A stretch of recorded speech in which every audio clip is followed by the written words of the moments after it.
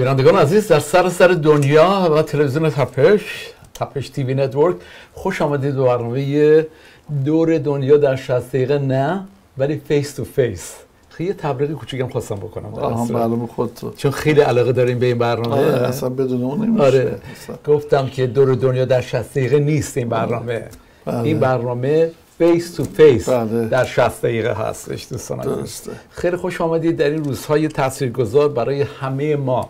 چه در سراسر دنیا خارج از ایران چه در ایران. قبول دارید آقای امیر بله قاسمی درصد صد درصد باور نکردنی ما پشت سر می‌ذاریم و تمام اتفاقاتی که داره میفته این دستگیری ها هنرمندان ورزشکاران و آمدن پارلمان های مختلف از سر سر دنیا بیشتر به نفع مردم ایران داره تموم میشه تا به نفع شما.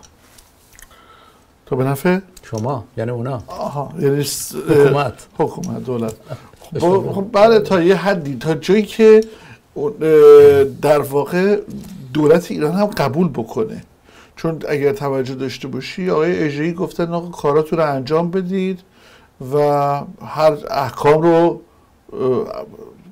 شروع کنید به آره این تقریبا فکر یه. هفته قبل بود ولی الان با این اتفاقاتی که داره میفته مثلا در اتریش چه خبر بود خب کلش کل پارلمان کل پارلمان. کل پارلمان اومدن اه، عکس رو گرفتن دستشون بله، عکس.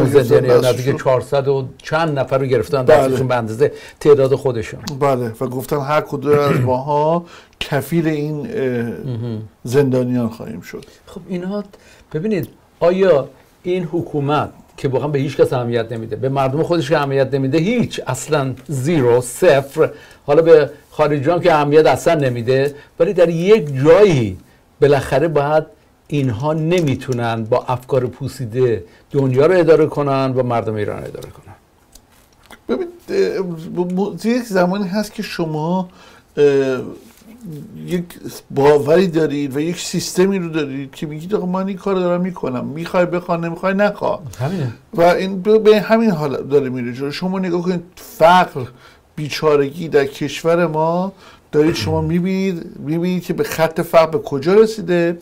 بعد رئیس خاتم الانبیا اه، سپاه ایشون میاد میگه که ما می‌خوایم در ونزوئلا مترو بزنیم خب آخه وقتی شما اینو فکر می‌کنی بعد میگی دهنکجی به مردم این چی اسمش؟ گفتی در مورد ونزوئلا آقای امیر قاسمی علیرضا این خبری که از چهار نماینده کنگره امریکا دو دموکرات و دو که اسمشون هم داریم اینجا آقای جو ویلسون جاش کادینگهم کلادیا تنی و ویسنت گونزالس.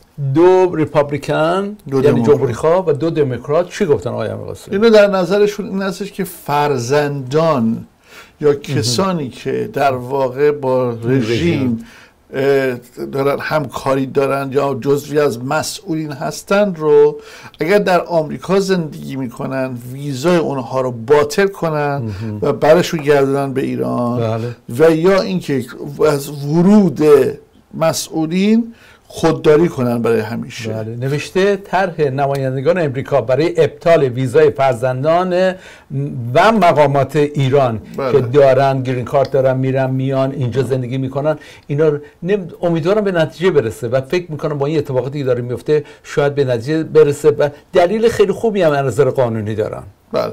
خب ببینید از کسانی که خیلی ویزا یا گرین کارت رو به مسئولین داد از طریق آقای ظریف عزیز. آقای اوبامای نازنین بودن. بله اون آقای آقای اوباما اومدن یک هدیه گرین کارتی دادن که این. هدیه گرین کارتی بین خود مسئولین تقسیم شد. متوجهی؟ الان روی حسابی که خود شخصیت های مجلس می‌کنن و نمایندگان مجلس می‌کنن. که همین چند روز پیش خانمی از نمایندگان نیشابور اومده بود و فریاد می‌زد که آقا این کشور چطور پولش خوبه همه چیش خوبه ولی هر جایی میرید شما دو تا از فرزنداشون خارج از کشور رو تو آمریکا و کانادا زندگی می‌کنن.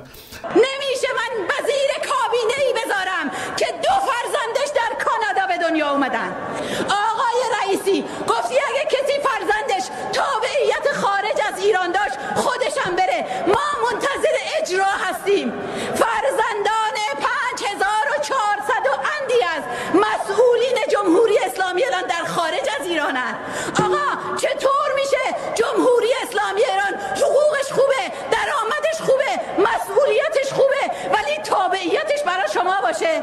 چطور میشه اگه کشور متجاوزه اگه کشور متش خامسه اگه آمریکاست اگه کاناداست چطور شده کشور دشمن فرزندان شما اون؟ خودشون دارن میگن بیش از 5400 فرزند دارن در این کشورها زندگی می‌کنن. پس به این توجه داشته باشید که امروز که در چنین موقعیت ایران قرار می‌گیره یا وقتی آمریکا و کانادا هر دوتاشون تو این فکر هستن حسین عزیز مطمئن باشید که خب از بعد از کاری که آقای اوباما انجام دادن و حتی آقای ترودو در زمان در شروع کارشون و این باج سیاسی که دادن امروز با اینکه آقای بایدن روی بر بستر کار هستن ولی مطمئنا سر صدای زیادی به راه خواهد انداخت و باید دید که چه اتفاقی میفته نسبت به این اشخاص. در کنار اون چند هزار یا چند صد گرین کارتی که داده شد اون 450 میلیون دلار پول نقد. یعنی نقد چک ننوشتن ها بله. به حساب کسی هم نریختن ها نقد. یعنی دلارهای 100 دلاری امریکا به ایران رسید اونا معلوم نیست کجا رفت. نه. خب امیدواریم یه خبرهای دیگری هفته آینده در این مورد بشنویم بهتون میگیم. اما علی رضا ما یکی از بهترین فینال ها رو ما دیدیم و آرژانتین برای سومین بار قهرمان جام جهانی شد. من با چند تا افراد متشخصی که می‌شناسم و در قطر بودن امریکایی که ایرانیان میان پرستی که خب بر- برای دیدن بازی ها رفته بودن. چون قبل کارشون انجام دادن رفته بودن. وقتی برگشتم ازشون پرسیدم چی بود برنامه؟ چطور بود اونجا؟ اینها که کارشون هم خیلی خوبه اینجا برای اینجا کار می‌کنن تحصیل کرده هستن به من گفتن که حسین جان ببین اه، درسته تمام اون چیزایی که واقعا اتفاقات بدی افتاد برای ایرانی ها و دولت قطر اون فشاری که بر این مردم آورد. ولی گفت از نظر اداره کردن از نظر مترو سیستمی که این هشت استادیوم رو به هم وصل می‌کرد. نظر تکنولوژی از نظر سرویس که به مردم میدن به جوابگویی مردم و اینا گفت خیلی عالی بود. ولی از نظر اون برنامه جلوگیری آزادی های مردم گفت افتضاح بود. که فکر کنم و به من گفتن خب اینجا دیگه اگر قرار دفعه دومی اتفاق نیفته خواهد افتاد که همچین جای جام جهانی برقرار بشه. خب ببین توجه به این داشته باز داره درباره جام جهانی صحبت می‌کنیم. این اولین جام جهانی یعنی پولسازترین جام جهانی برای فیفا بوده. برای هفت و نیم میلیارد دلار درآمد بله. درآمد فیفا بود. کاملا. و بعد از طرف دیگه شما باید این توجه داشته باشید که وقتی الان جام جهانی به آمریکا میاد خیلی از ماها که امیدوارم هستیم که یکی از تیم ها هم تیم ایران باشه خیلی از ماها تو این فکر خواهیم بود که آیا بازی که مثلا ایران بازی می‌کنه بازی اولش رو آیا مثلا در نیویورک یا در دالاس یا در سان فرانسیسکو یا در لس آنجلس؟ حالا به این بگی که بین این شهرها با هواپیماش پنج ساعت بعضی از شهرها را فاصله است. آخه news for you یه خبر براتون دارم. 16 تیمی که 16 گروهی که دو بازی هر گروه انجام میده در داخل امریکا نخواهد بود. آها.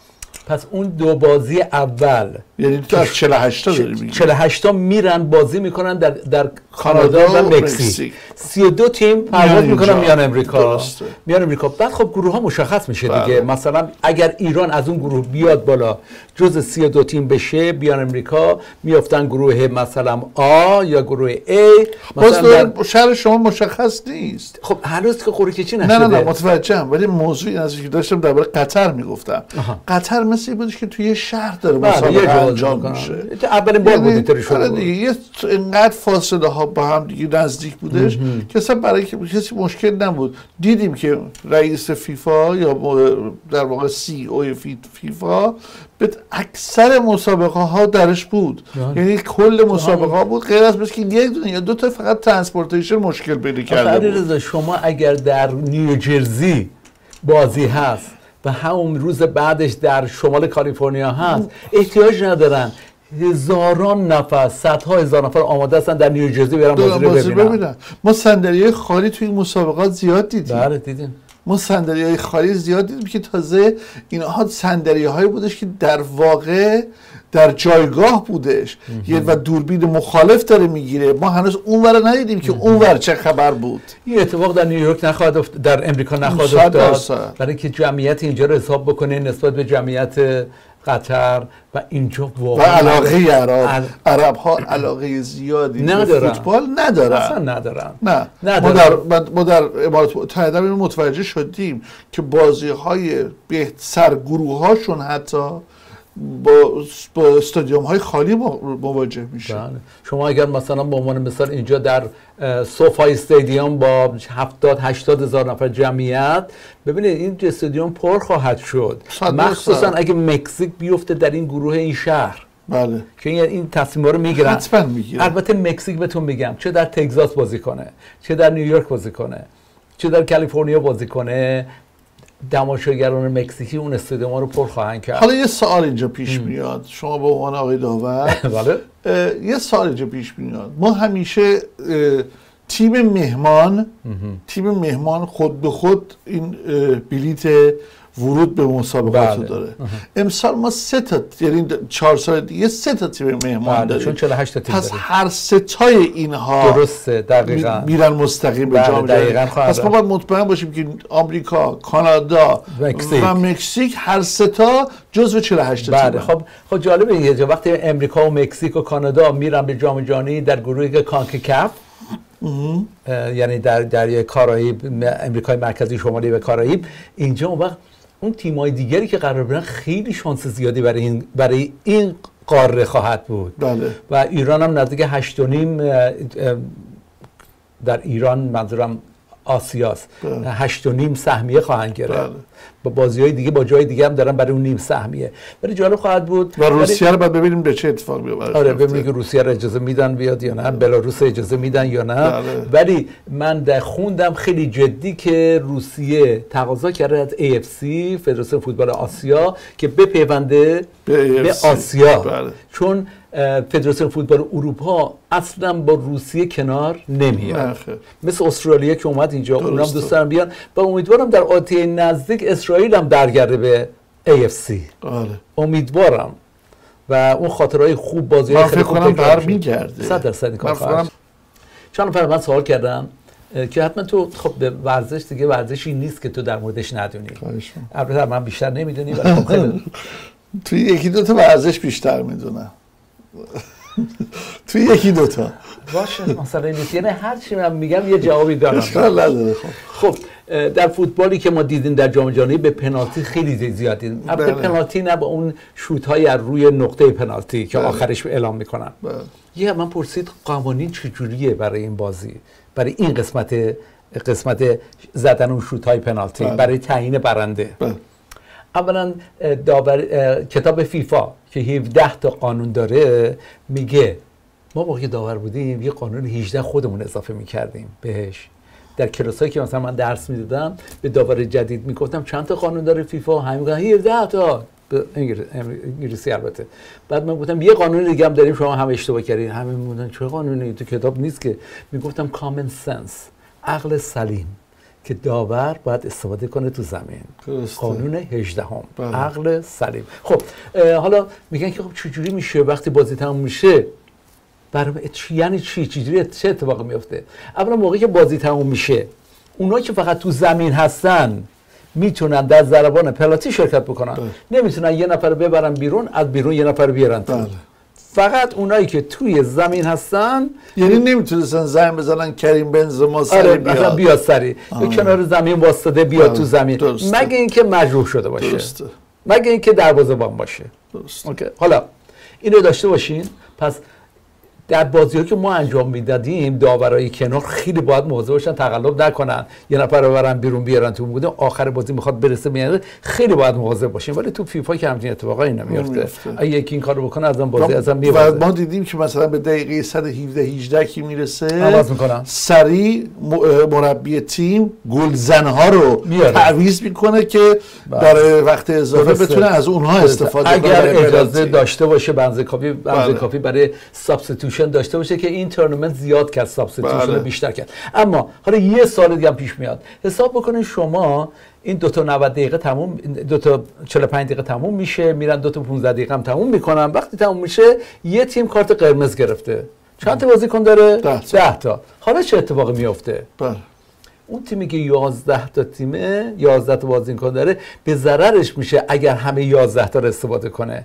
یه نفر می‌برن بیرون میشن 10 تا. می‌دونید چرا؟ می‌دونید چرا؟ برای اینکه اینا 5 تا 5 تا که می‌زنن بعد یک به یک. به یک که می‌زنن می‌خوان بازیکن خوبشون تو زمین باشن. مجبور نباشن یه بازیکن شوت زن نیست تو زمین باشه. پس اگر یه نفر دو تا کارت قرمز گرفته اون یکی تیم هم می‌تونه نمی‌تونه باید حتما بازیکنانش رو چند؟ بکنه به نه. بله.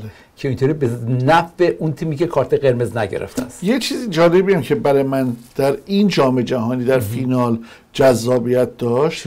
این بودش که بهترین بازیکنها یا گلزنها رو اول فرستادن برای پنالتی.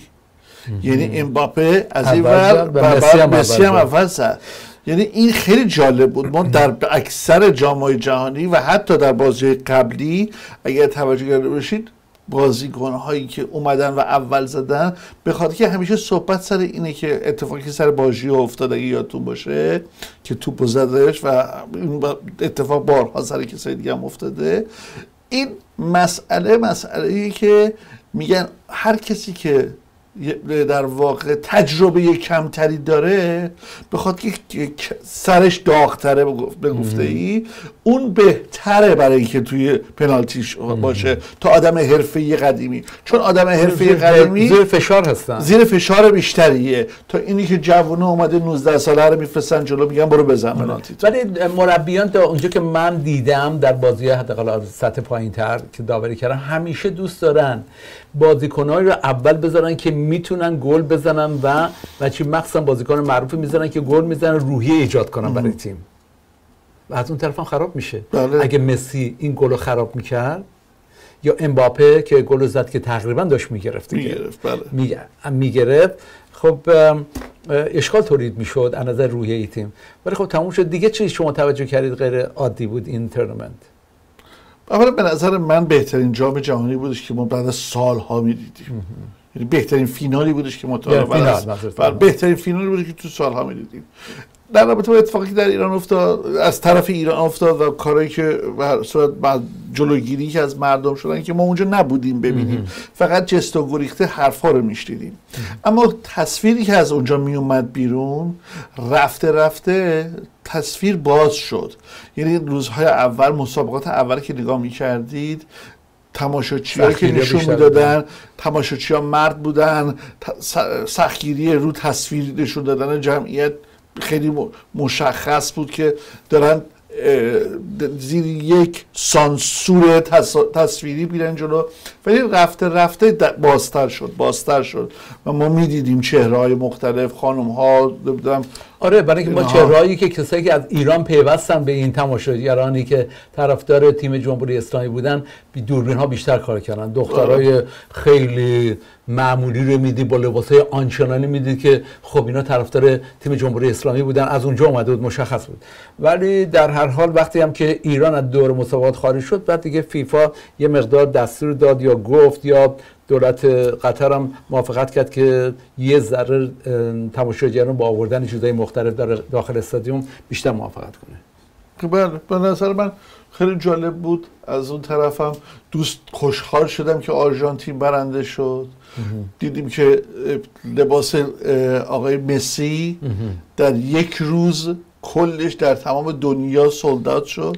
دیگه نبود.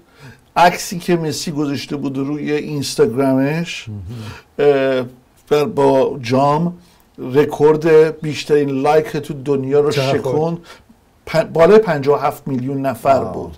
که قبلی اگه یادتون باشه یه کسی بودش که یه کسی اومد یک تخم مرغ رو گذاشت. گفت بیایم با هم دیگه رکورد بشکنیم. عکس مسی در صفحش بیشترین رو داشت. و خب اونم باز دور جای خودش بود. قبلی هم اگه عکس فراموش نشدن این که باز دوباره مسی و رونالدو. یه عکس دوتایی دارن که با هم دیگه روی جعبه لوی ویتان دارن با هم دیگه شطرنج بازی می‌کنن. این تبلیغاتی بود. آره. اون 42 میلیون نفر لایک گرفتش. مسی اعلام کرد که من از تیم ملی خداحافظی نمی‌کنم. نه. اول گفت می‌کنم بعد گفت نمی‌کنم. خدا نمی امکان داره یه سال دیگه هم بازی کنه. آره. یا به. جام امریکای جنوبی برسه. ولی فکر نکنم مسی رونالدو و خیلی از بازیکنان معروف دیگری در این تورنمنت بودن در جام جهانی آینده نخواهند بود. بله. امباپه که جام جهانی قبل بود این جام جهانی جام جهانی بعد بعد بود. این سه چهار جام جهانی خواهد بود. برای کسی هم که طرفدار آقای مسی هستن و در آمریکا زندگی می‌کنن باید بهشون خبر بدیم که آقای مسی در یک قراردادی همکنون در مذاکره به میامه آمریکا در MLS. امکان بپیوندن- برای سه سال بله اونم هست و و همینطور رونالدو یه صحبتی کردن که امکان داره ولی رونالدو همینطور قرار بود در خلیج فارس بازی کنه فکر کنم به نتیجه نرسید نرسید. نرسید برای اینکه یه کمپا... یه تیم استرالیایی یک یک پیشنهاد خیلی بزرگی داد ولی رونالدو نمی‌خواد بره در یه جای دنیا بازی کنه که مقدار کمتر کمتر اکسپوژر می‌گیره. ولی فکر کنم جای بعدی رونالدو همینجا در امریکا خواهد بود. همینطوری که بازیکن ویلز هم اینجا بازی می‌کنه بله بله درسته. اه، و حالا باید ببینیم اونها هم چه اتفاقی میفته دیگه تصاویر زیبایی دیدیم از این جمعیت باور نکردنی در بوینس آیرس. در بوینس آیرس واقعا باور نکردنی بله. بود و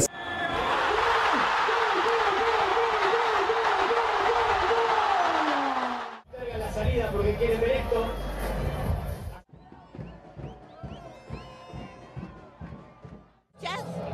Estuve sufriendo y mi nieto lloraba mucho, le decía que, que no llore, que íbamos a ganar. A las 7 estuve acá parada ya. ¿Cómo lo vio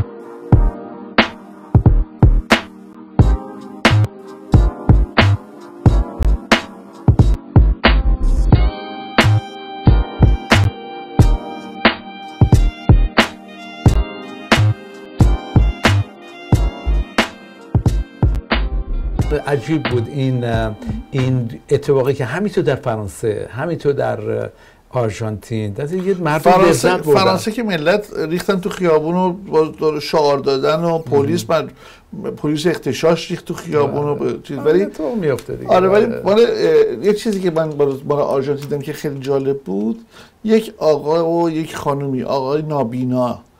اومده بود تو بالکنش و گوش می‌کرد و این مردم براش میخوندن.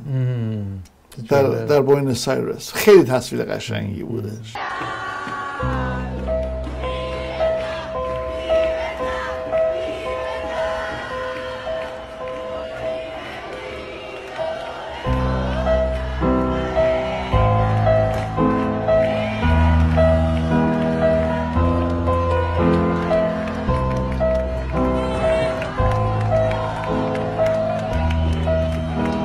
در هر صورت اتفاق بسیار خوبی بود روز بسیار عالی بود. دیدن این بازی که آرژانتین 80 دقیقه باور نکردنی بود توی زمین. و اون گل پاس گل دوم آرژانتین از از طرف مسی باور نکردنی بود. بله. وقتی دوربین ها زوم کردن روش و به اون طریق این پاس داد و. عجیب بود. در هر صورت چیز جالب ترم بودش که در اومد نمی‌دونم دیدی یا ندیدی رخکن آرژانتینی ها بعد از پیروزی. اینا شروع می‌کنن به رقصیدن و همه به اون حالت زنجیری با همدیگه دارن میرقصن و بعد یه دفعه سکوت می‌کنن. سکوت می‌کنن برای یه ثانیه باز دوباره شروع می‌کنن خوندن. و اون سکوت رو میگن یک لحظه سکوت برای امباپه.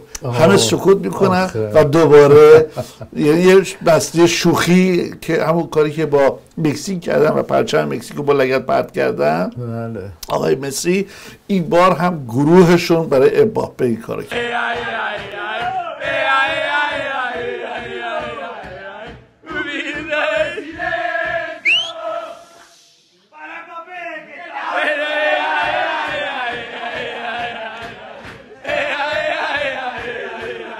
چه احترامی به به بازیکن تکرار نشدنی گذاشتن و اونم کی بودش؟ مارادونا. مارادونا. عکساش همه جا بود. پوسترهای بزرگی یه ساختمون همه جا بود. و چقدر احترام بهش گذاشتن. باور نکردنی. بله. یه نفر پرسیده بود در یک مقاله ای در روزنامه صبح لس آنجلس که آیا من آقای دکتر خانم دکتر تغذیه آقای دکتر ورزش من تنها ورزش که می‌کنم سی دقیقه در روز فقط راه میرم. راه میرم. آیا این کافیه یا نه؟ آیا این کافیه یا نه؟ جوابش رو برمیگردیم خواهم داد در. بسیار برمیگردیم. عضو یوتیوب تپش شوید تا از تازه ترین ویدیوها، برنامه ها، مصاحبه ها و میوزیک ویدیوها با خبر شوید و به صورت HD تماشاگر آنها باشید. تپش. رفته بودم در جایی که یه عده بودن. یه نفر اومد جلو با من علیک که آقای مجید من اولین بار شما رو می‌بینم. سال هاست رادیو تلویزیون حتما نگاه نمی‌کردن. ما مجله روزنامه هستیم سوشال میدیا هستیم همه جا هستیم. اولین بار دارم گفت من می‌بینم. اولین بار شما رو می‌بینم. ولی سال هاست که گوش می‌کنم بهتون. و همیشه فکر می‌کردم شما مکسیموم باید سی سالتون باشه. صدا. گفتم اتفاقا خیلی خوبه. گفتم بهتره که شما سنت بالا باشه صدات جوان باشه در رادیو تا اینکه صدات پیر باشه ولی چهره جوان. این به در رادیو نمی‌خوره نه. به در تلویزیون می‌خوره اون اونوریش به در تلویزیون می‌خوره. کجا نمی‌خوره. هیچ کجا نمی‌خوره. آره. خب جواب سوالی که پرسیده خیلی خوب بدونیم همه ما که چقدر مهمه برای که زمان pandemic من با آقای امیر قاسمی به گروه بزرگی از دوستانمون چندین مایلز یا کیلومتر در روز راه می‌رفتیم که روزهای بسیار بسیار خوبی بود از نظر می‌تونیم الان بگیم یه. یکی دیگهشون کی بوده چی بوده؟ می‌تونیم بگیم اون یکی کی آره، بوده می‌تونیم ب- الان دیگه می‌تونیم بگیم. آره. می‌خواد بگیم حمید فرخ نژاد. حمید فرخ نژاد هنرمند بسیار خوبی کشورمون که تازگی آره. دوباره به ما دیگه الان میشه گفت. آره. هر روز ما با هم دیگه راه می‌رفتیم. بعد حسین عزیز فلاسک چای می آورد حمید مثلا خورما می آره آورد چیزای مختلف رو ما بعد از راه رفتنمون و حمید فرخ نژاد در مورد فیلم و سینما صحبت می‌کرد. دوران خیلی خوبی بود و تا دوباره ما پیوسته سلامت باشه و می‌دونم که کمک بزرگی می‌تونه به خیزش مردم در ایران بکنه. حتما حمید. فرخ نژاد عزیز. ولی جواب این بود علیرضا اون متخصصین گفتن بله اگر هیچ کار دیگه انجام نمی‌دید اگر وزن برداری نمی کنید اگر نمیدوید اگر کار برای قلبتون مثلا دویدن انجام نمی‌دید سی دقیقه راه رفتن در روز می‌تونه کمک بزرگی به شما بزرگی بکنه. باشه. سی دقیقه در روز. درست. خیلی عالی. یه نفر گفت آره من میرم تو فروشگاه. سه دقیقه رو بودم به درد نمی‌خوره. نه. اون ورزش نیست. یه نفر گفت من تو خونه انقدر کار خونه انجام میدم ورزش نیست, نیست. شما باید مصمم باشید بله. لباستون درست نان بشه استاپ. کفش نزه مستقیم این کاری که ما انجام می‌دادیم. بله. درست نزدیک پنج مایل که نزدیک 8 کیلومتر 9 کیلومتر می‌شد ما یک سر راه می‌رفتیم. البته اینا نمیذار یواش میادن همیشه ما با سب می‌کردم براشون. باز شروع کردم. عاقلان دانند. الله اعلم. این جمله دیگه شه. استغفر الله. در هر صورت. بله. سی دقیقه. در روز راه برید بسیار بهتون کمک می‌کنه این انجام بدید. یه سوال دیگه علیرضا صبح که خواب بیدار میشی البته ما اینا رو بگیم بد نیست یه اطلاعاتی دیگه هم در خدمت دوستانم انجام بدید در این روزهای بسیار سخت. از صبح که خواب بیدار میشی بغیر از اون کار اولین کار دیگه که انجام بدی چیه؟ من نمیدم ولی می‌دونم شما چی میگی. همونی که با هم دیگه صحبت می‌کردیم. خب از الان شاید انجام بدی. از از الان خوب آدم انجام فکر کنم. من فردا صبح- یک لیوان آب بعد بخوری یک لیوان آبی که شما. من چیکار می‌کنم؟ من از این فیلتر یخچال می‌گیرم بله. خونکه. می‌ذارم تو microwave برای سی ثانیه. خب. ولرم میشه بعد می‌خورم. OK. یخ آب خنکه. می‌ذارم تو microwave سی ثانیه. بله. سی ثانیه برمیدارم. می‌خوری. یه لیوان آب انقدری می‌خورم. بطری هم داشته باشی بیرون گذاشته باشه بذاری آره. اونم خوبه. اونم خیلی خوبه. بله. در صورت دوستان عزیز فراموش نکنید. یک لیوان آب صبح به تمام اجزای بدنتون قبل از هر چیزی. قبل از هر چیزی. قبل از قهوه‌ای که می‌خواید بخورید. قبل از هر چیزی. داروتون رو که اگه صبح بعد بخورید ناشتا بعد بخورید اونو با اون یک لیوان آب بله، بخورید. بله. خیلی بهتون کمک کنه. گفته باشم این خط بزنم. بیا. همین چی از من داری الان؟ سلامت از من داری. آره. واقعا همین باور کن. آره. همین ساعت از من داری شما. یه چیز جالب فهم در ساعت گفتی من توی برنامه درباره ساعت صحبت کرده بودم که خواننده روی صحنه نباید ساعت ببنده بعد دوستان اشتباه گرفته بودن که گفته بودن که شما گفتی ولی خودت میبندی من درباره خواننده؟ خواننده گفتم چرا؟ دلیلش چیه؟ ببینید خواننده روی صحنه یا توی ویدیو یا هنرپیشه توی فیلم اگر مثلا خواننده رو بگو آره، خواننده. خوا- خواننده در خواننده روی صحنه هیچ وقت به خواننده های معروف آمریکا یا خواننده های معروف جهان روی صحنه ساعت نمیبندن. خب،؟ یکی که به ساعت نگاه کردن درست نیستش اوه، یه دفعه نگاه. آره. این خیلی بده. یعنی من کی. تموم میشه کارم؟ تو توی توی جامعه خودمون دیدم. آره کی کارم تموم داره میشه؟ چقدر دیگه برم بخونم؟ می‌دونی چه این ایراده غلطه. و بعدم اینکه اصلا ساعت بستن هیچ خا... هیچ خواننده حرفه‌ای در دنیا ساعت روی صحنه نمیبنده. حالا چه ساعت هیوبلو باشه چه ساعت 200 هزار دلاری باشه.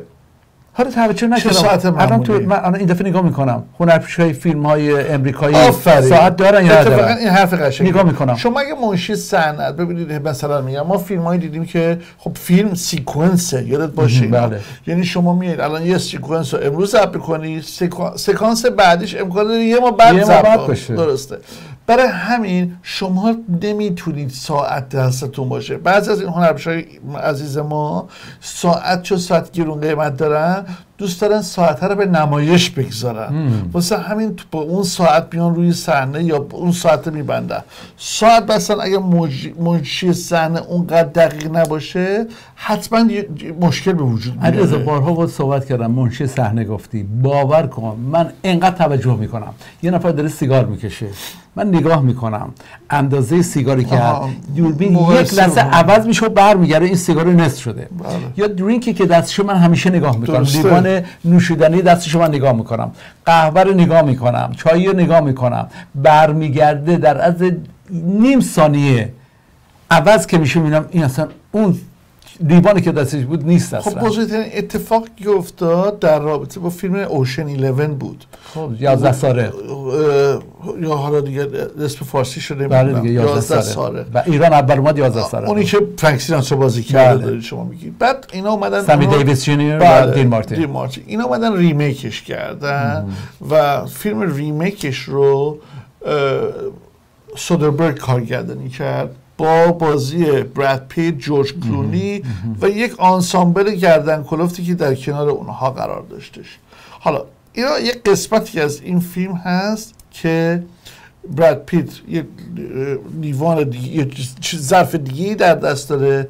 وقتی shot عوض میشه ظرف عوض میشه. یا این چیزی دو دستشه عوض میشه متوجه و کلا عوض میشه.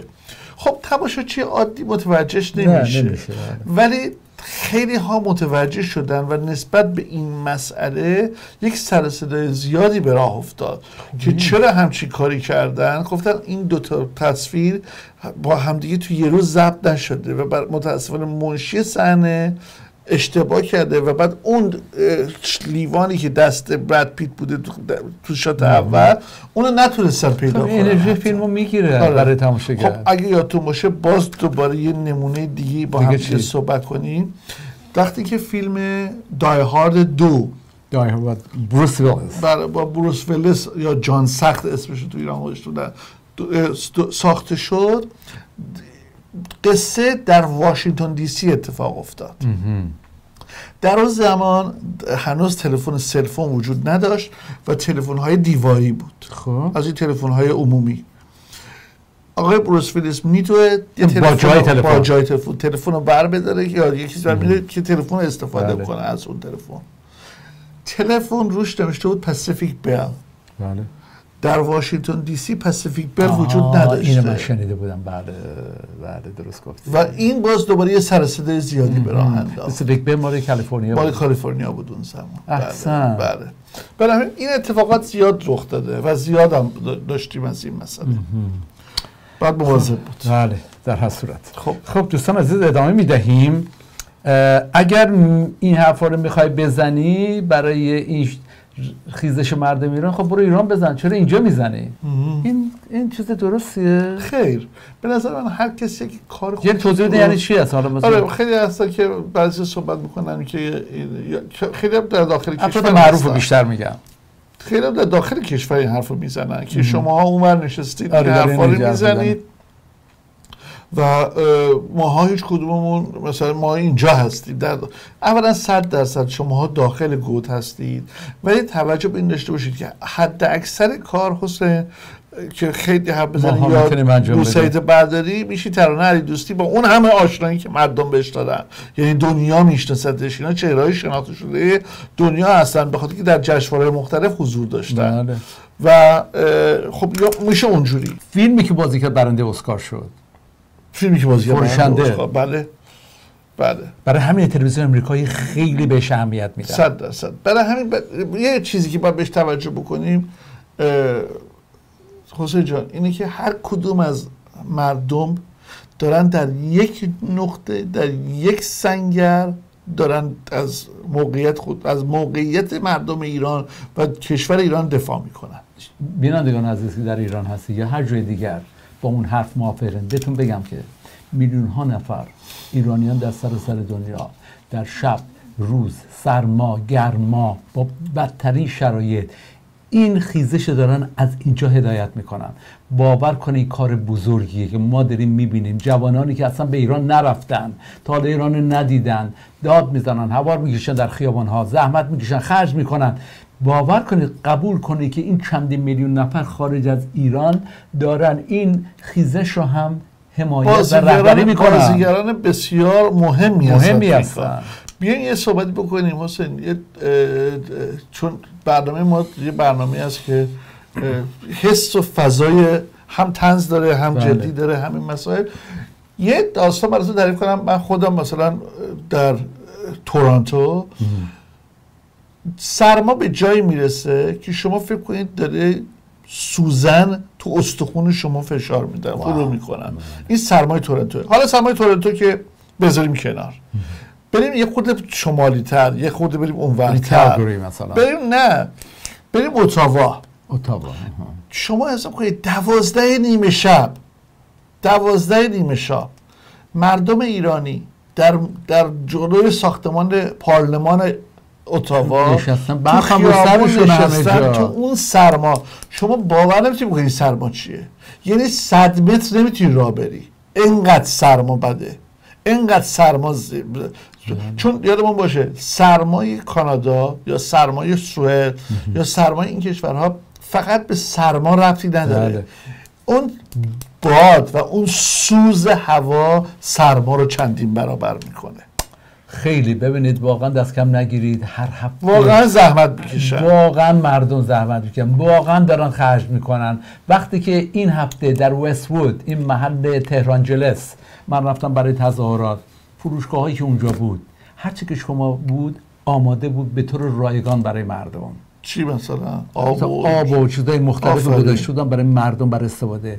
شهرداری ها چگونه کمک می‌کنن برای بستن خیابون ها جوانانی که میان اونجا برنامه‌ریزی می‌کنن. با انگلیسی های خوب این هفته صحبت می‌کردن که باور نکردنی. خیلی خوبه. در اصل دستشون درد نکنه. بله. خب علیرضا حالا بازم یه گریز بزنیم دوره برگردیم. می‌خواستم از سوال بکنم که ورزشکارا در توی زمین من که به عنوان داور سالهای سال دیدم جملات رکیک استفاده می‌کنم یه چیزی نیستش که بگیم وا چی شد؟ ولی خب فیفا هم یه قوانینی داره. برای با بزرگ زیاد استفاده نمی کنیم شما اگه نکنید در قطر انقدر فوشای بعد دادن به داور ولی داور کارت قرمز نشون نمیده. نمیده. و ولی خب ما در بازی های دبیرستان و دانشگاه چاره ای نیست. اگر یه نفر بشنوه یه نفر جمله بعد استفاده کرد مجبوریم کارت بهشون بدیم.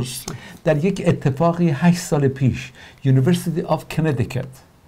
خب اسمش معلومه کجا بله. هستش یک دختر خانمی از یه ایالت دیگه بورس ورزشی می‌گیره میاد فوتبال بازی می‌کنه. می‌خوام بله. نظرت بپرسم. بله.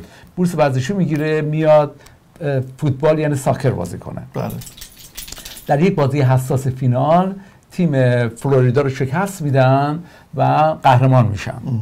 در یک لحظه شادی همون کاری که به عنوان مثال دروازه‌بان تیم آرژانتین انجام داد که به نظر من کلاس نداشت برای همچین بازیکنی با این همه افتخاری که کسب کرده. از نظر من کلاسی وجود نداشت.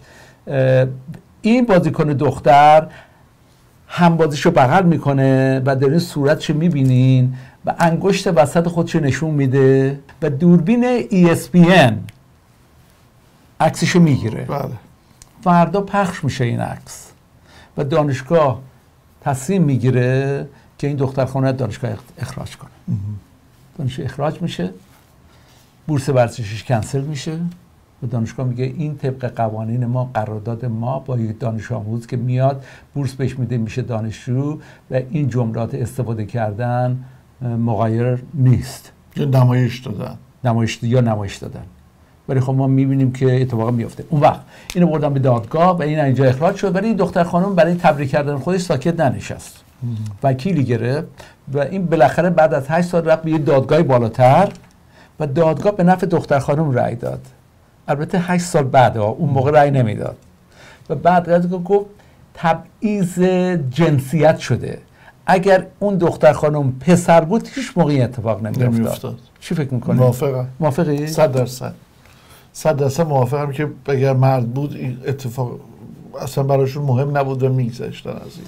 البته تو زمین هر کدوم استفاده کنن فرقی نمی‌کنه ولی دادگاه به این نتیجه رسید و وکیل دختر خانم موفق شد که ثابت کنه که اگر یه آقا پسر این کاری کرده بود و اون انگشتش رو نشون داده بود اون انگشت رو نشون داده بود به دوربین یا دوربین هم نشون نمی‌داد یا به طرف دوربین شاید بله به طرف دوربین این کاری کرد اگه پسر بود کارش باش نداشتن. چون دختر بود خب مثلا نگاه کنید اه، دعواهایی که تو خیابون انجام میشه یه مرد به یه مرد تو رانندگی انگشتش نشون میده. خیلی مواقع خطرناکه امکان داره دعوا بشه. ولی یه دختر خانوم به آقا نشون بده امکان داره اتفاقی نیفته الان. متوجه هستین؟ و ولی یه دو یک مادری که این کار انجام داد و یه بچه کوچیک بغلش بود نشسته تو اتومبیل سال گذشته. اتومبیلی که از بغلش رد می‌شد این عصبانیت جاده ای اتفاق افتاد و با تیر زد و خورد به بچه کشته شد. بله. اینه که این درست نیست. حالا منم نمی‌دونم با این با این تصمیم موافق باشم یا نه. به نظر من امروز اگر 8 سال پیش جواب نمی‌دادن یا رأی نمی‌دادن به خاطر اینکه در اون زمان حتی آمریکا هم شاید آمادگی رو نداشته که متوجه باشه که فرقی بین زن و مرد وجود نداره. ولی و اونها هم همونجوری نگاه کردن که خب حالا این یه زن- دختر هستش و داره این کار می‌کنه. چون الان دیگه جنسیت اصلا کسی نه سوال می‌کنه نه بله. هیچ اصلا دیگه این چیزا تموم شده دیگه. کاملا. تموم شده است. امروزه. بله. امروزه.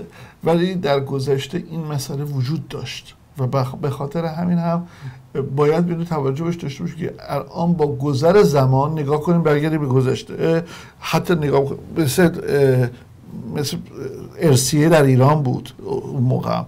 دو, دو برابر پسره می‌گرفت یه برابر مثلا بله. دختر تو فوتبالیست هم همین حالت بودش. پولی که فوتبالیست مرد می‌گرفتن نسبت به فوتبالیست زن یکی نبود در آمریکا. ولی امروز یکی شده. همین پولی هم که گرفتن در جام جهانی بین دختران تقسیم شد. بله. این خیلی جالبه. حدود تقریبا میشه گفت اه، 240 روز دیگر جام جهانی بانوان انجام خواهد شد. بله. که خیلی عالیه عالی، خیلی بله. دیدنیه. بله. خیلی دیدنیه.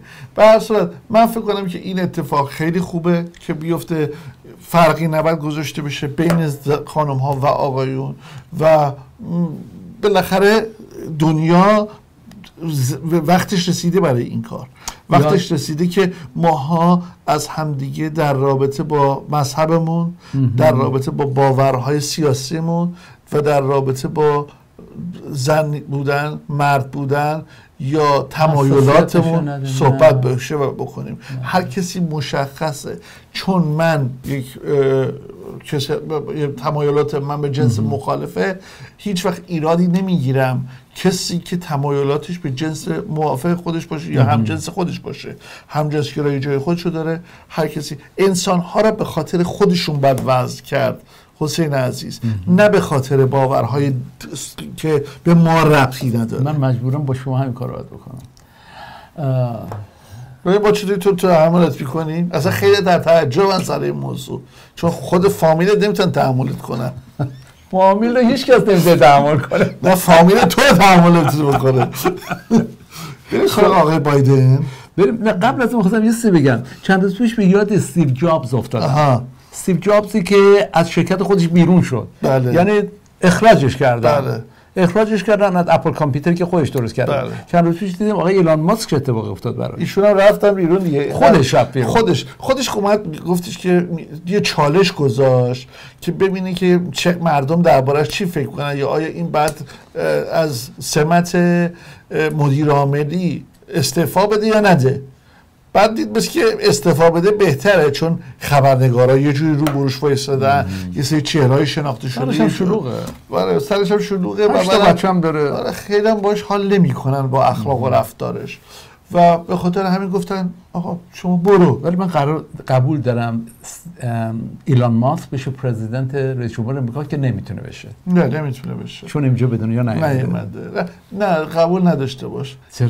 به خاطر که الان نگاه می‌کنیم درباره آقای ترامپ رو می‌بینیم که چگونه در رابطه باش مثلا حالا حتی خانم چینی که وایومینگ هستش در مجلس و دختر دیک چینی بله. معروفه لیز چینی ایشون اومد چند روز پیش در رابطه با دونالد ترامپ گفت دونالد ترامپ یک آدم نامناسب بله. برای هر گونه کار در نظر آمریکا عقلی آماده نیست آره این عنوان کرد یک یک جمهوری خواه به یک جمهوری خواه بله، خب دیگه این مسئله رو عنوان کرد و. گفتش که کمیته ششم ژانویه که تشکیل شد بعد از این همه مدت آقای ترامپ رو تن بزرگترین عامل این اختشاش در واشنگتن دی سی می‌بینه و ایشون خانم لیز هم که در واقع مقام سوم مهمترین مقام رو در روی صندلی مجلس آمریکا داره. ایشون اه، اومد و این مسئله رو عنوان کرد. البته اتفاق اصلا خوبی ندید افتاد نه. یه یه سرشکستگی یک یک خجالتی بود برای امریکا. ولی نگاه کنید چگونه رفتار کردن. اومدن نزدیک 300 خورده ای نفر رو 600 نفر رو دستگیر کردن آوردن. بهشون خب حقشون بود. از سه سال خورده زندان دادن تا شش ماه دو ماه یه ماه سه ماه دادن اعدام نکردن اینا رو که. اون اتفاق افتاد. در مقابل این مردمی که حقشونه در ایران می‌خوان. پودیوم رو گذاشته بود زیر بغلش برد بیرون با خودش داره بله. پودیومی که سخنگو یه، مجلس داره صحبت می‌کنه. Among the most shameful of this committee's findings was that President Trump sat in the dining room off the Oval Office watching the violent riot at the Capitol on television. For hours, he would not issue a public statement instructing his supporters to disperse and leave the Capitol, despite urgent pleas from his White House staff and dozens of others to do so. Members of his family, his White House lawyers, virtually all those around him knew that this simple act was critical. For hours, he would not do it. During this time, law enforcement agents were attacked and seriously injured.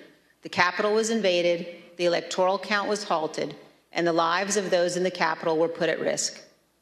In addition to being unlawful, as described in our report, this was an utter moral failure and a clear dereliction of duty. Evidence of this can be seen in the testimony of President Trump's own White House counsel and several other White House witnesses. No man who would behave that way at that moment in time can ever serve in any position of authority in our nation again. He is unfit for any office. خب اه، آقای بایدن چه اتفاق افتاد با ایشون خب الان صحبت سر همین مسئله است که آقای باید- ما می‌دونیم که این پنج به اضافه یک و مسئله انرژی اتمی آمریکا کل که با ایران داشتن و اون پنج به اضافه یک رو به وجود آورده بود کلا از بین رفته. حالا یه خانمی توی یه گفتگویی از آقای بایدن می‌پرسید که بگید که این از بین رفته بگید که مرده است. ایشون گفت من نمیگم. و گفت چرا نمیگی؟ گفت نه مرده است. ولی ما باید ببینیم وایسادی ببینیم که انرژی اتمی چی کار می‌کنن و آژانس چی کار می‌کنه?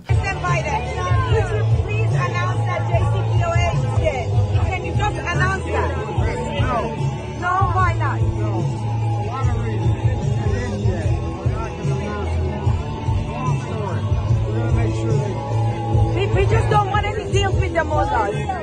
deals. They don't us. Not our government. خب باز دوباره دیدیم چند روز پیش نمایندگان آژانس در یک سفری که داشتن یک سکسکی هم با به تهران رفتن و چند ساعتی بیشتر در تهران نبودن. و راضی از ایران بیرون نیومدند. به خاطر همین هم و برگشتن به وین. به خاطر همین هم باید به این توجه داشته باشیم که آیا با این برخورد و با این نگاه آژانس درسته که آقای کمال خرازی ایشون اومدن و گفتن که ایشون رئیس شورای راهبردی روابط خارجی هستن. ایشون و حتما امور خارجه بود قبلا. ایشون در آمریکا هم حتی حضور داشتن. ایشون اومدن این مسئله رو عنوان کردن که ما توان تولید بمب اتم رو داریم ولی قصدش رو نداریم. حالا موضوع مسئله است. با اتفاقاتی که دنیا می‌بینه از ایران می‌تونه اینو باور کنه؟ خیر. وقتی میگن اون کشور رو می‌خوایم از روز زمین برداریم اون کشور رو می‌خوایم نابود آه. کنیم. با مردم خودتون اینطوری رفتار می‌کنین کی بهتون اطمینان می‌کنه؟ بعد همش هم میگه مرگ بر امریکا مرگ بر اسرائیل مرگ بر این مرگ بر اون مرگ بر این مرگ بر اون. و الان هم داریم می‌بینیم با ارتباطاتی که اسرائیل با کشورهای عربی به وجود آورده و با اتفاقاتی که بین بن سلمان و دولت چین رخ داد تمام تمام معادله های ایران به هم ریخته. و باید باید صد درصد آماده این باشیم که قدم بعدی چی خواهد بود. آیا باز دوباره یک اشتباه دیگه از ایران می‌تونه رخ بده که منجر به یک حمله نظامی به ایران بشه یا نه؟ چرا؟ چون خیلی ها باور دارن که قدم بعدی باید حمله نظامی یا حمله خارجی به ایران باشه برای تعویز یا برای فروپاشی رژیم. ما امروز هم از توانایی های بالا برخورداریم و می‌بینید که روز به روز سانتریفیوژ های پیشرفته تر و تولید بالاتری رو اعلام می‌کنیم.